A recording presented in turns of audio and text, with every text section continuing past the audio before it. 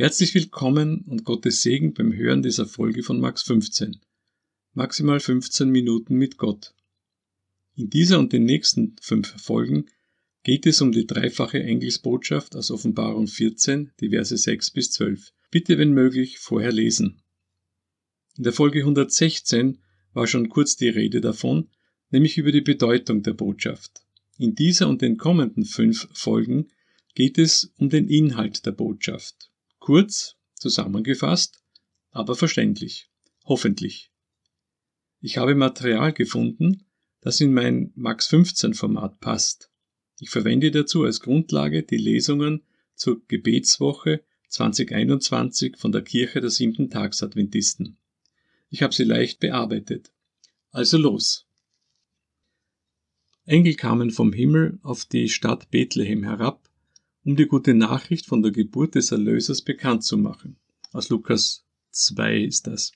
Und jetzt, kurz vor der Wiederkunft Christi, kommen wieder Engel, um die rettende Kraft des ewigen Evangeliums zu verkündigen.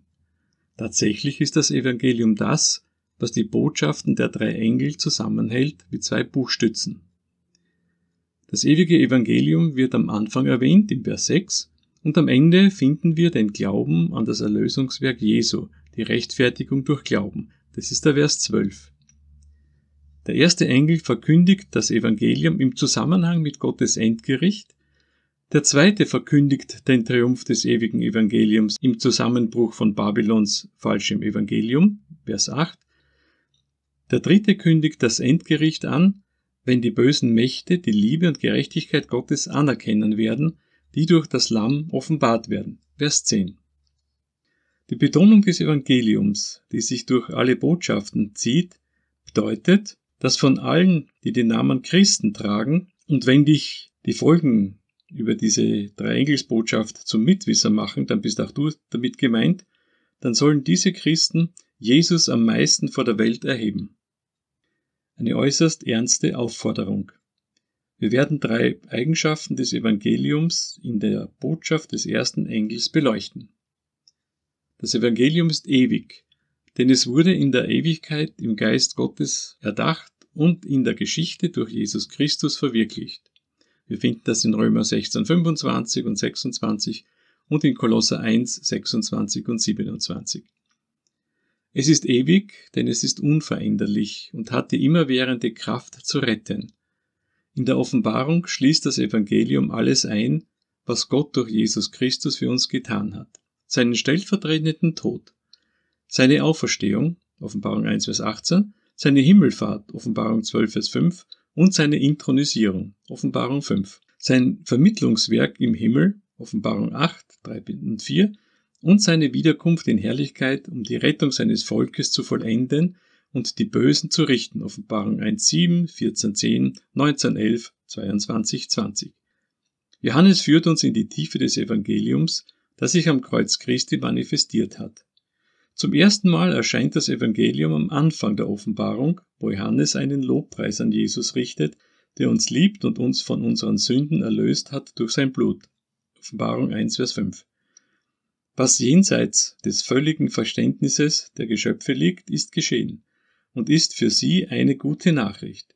Hier geht es um Liebe und Blut, um den Gott, der durch das Tal des Todes gegangen ist um uns zu versöhnen und uns von der Sünde zu befreien. Das ist die Liebe Gottes, die in der Geschichte sichtbar wird und durch das Opfer seines Sohnes seinen Höhepunkt findet.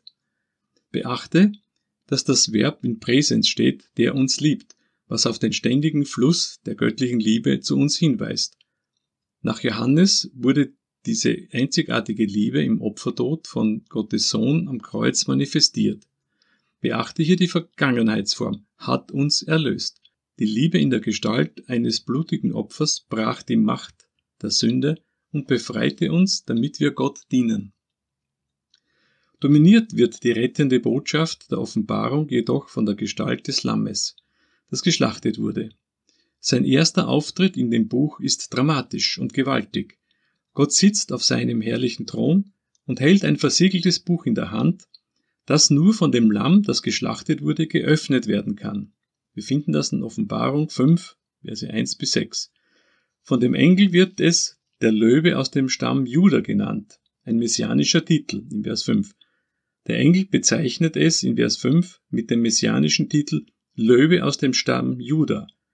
Als aber Johannes sich umdreht, um den Löwen anzusehen, sieht er ein Lamm stehen, wie geschlachtet. Die gute Nachricht ist, dass der Löwe die Feinde Gottes dadurch besiegt, dass er ein Lamm wird, ein Opferlamm. Ja, wir sehen hier Kraft und Macht, aber es ist die Kraft eines Lammes, das geschlachtet wurde, nämlich die Macht der am Kreuz offenbarten Liebe Gottes. Als diejenigen, die den Thron umgeben, das Lamm sehen, fallen sie nieder, beten es an und singen. Du bist würdig, denn du bist geschlachtet und hast mit deinem Blut Menschen für Gott erkauft aus allen Stämmen und Sprachen und Völkern und Nationen. Vers 9. Einmal mehr finden sich hier die beiden grundlegenden Konzepte von Blut und Erlösung, durch die Gott reuigen Sündern eine herrliche Zukunft gewährt. In Offenbarung 7, 9 bis 15 steht Gottes Endzeitvolk vor dem Thron Gottes und vor dem Lamm und lobt sie, bereit, ihnen zu dienen. Sie stehen vor Gott und dem Lamm, weil sie ihre Gewänder gewaschen und sie weiß gemacht haben im Blut des Lammes. Das Opfer des Lammes erlöst die Menschen nicht nur, sondern reinigt sie auch von ihren Sünden. Tatsächlich besteht die Erlösung in der Befreiung von der Macht der Sünde, die es uns ermöglicht, in Gottes Gegenwart zu sein und ihm zu dienen. Da der Opfertod des Lammes diese herrliche Befreiung vollbringt, ist es uns nun möglich, uns dem Lamm im kosmischen Kampf gegen den Drachen anzuschließen und ihn zu überwinden, durch des Lammes Blut und durch das Wort ihres Zeugnisses. Offenbarung 12, Vers 11. Zwei Faktoren in ihrer richtigen Reihenfolge. Der Sieg, der durch das Opfer Christi möglich wurde, und das Bezeugen dessen, was Gott durch das Lamm für uns getan hat. In der Offenbarung ist das Lamm die Verkörperung des ewigen Evangeliums. Die Verkündigung des Evangeliums geschieht im Kontext eines Kampfes. Sie ist Teil der Geschichte einer Rebellion, die ihren Ursprung im Himmel hatte, Offenbarung 12, 7 und 8, und die Menschheit und ihre Herrschaft gebracht hat. Ganz am Anfang 1. Mose 3, 1 bis 8. Während sich das Ende des Konflikts nähert, macht sich der Drache bereit, Gottes Volk durch Täuschung und Verfolgung zu überwinden. Wir lesen das in Offenbarung 13, 13 bis 15. Er vereinigt die abgefallene Christenheit, die Verse 1 bis 17, und gewinnt durch die Botschaft der drei dämonischen Geister, die den Spiritismus symbolisieren, die Unterstützung der Könige der Erde. Das steht in Offenbarung 16, 13 und 14. Zur gleichen Zeit sammelt Gott durch die dreifache Engelsbotschaft sein Endzeitvolk aus allen Nationen, Stämmen, Sprachen und Völkern. Eben Offenbarung 14, 6 bis 12. Um die Wiederkunft Christi vorzubereiten. Das steht dann in den Versen 14 bis 20. In diesem letzten Kampf ist der Sieg nur durch das Blut des Lammes möglich. Das Evangelium soll auf dem ganzen Planeten als die einzige Lösung des kosmischen Kampfes verkündigt werden. Die drei Engel stellen jene dar, welche die Wahrheit empfangen und der Welt das Evangelium mit Macht eröffnen. Also auch du kannst dich in diese Reihe stellen, wenn du diese Botschaften verstehst und weitergibst. Es wird hier enthüllt, was das Herzstück der christlichen Botschaft ist, nämlich das Evangelium. Wir sollten uns niemals davon abbringen lassen, durch Wort und Tat zu verkündigen, dass das Blut des Lammes genügt. Wir müssen ein klares Verständnis des Evangeliums haben, aber wir müssen es auch in unserem Leben verkörpern und zu Menschen werden, die anderen in Liebe dienen. Die blanke Theorie hilft hier gar nicht. Die Kirchen und alle Einrichtungen, die sich christlich nennen, sollten Orte sein, wo die Liebe des Lammes im Leben von Menschen sichtbar wird, die sich ihm ganz hingegeben haben. Einige Fragen zum Nachdenken. Warum ist es so wichtig, das Evangelium in den Botschaften der drei Engel zu sehen? Hast du Angst vor der Gerichtsbotschaft der Offenbarung?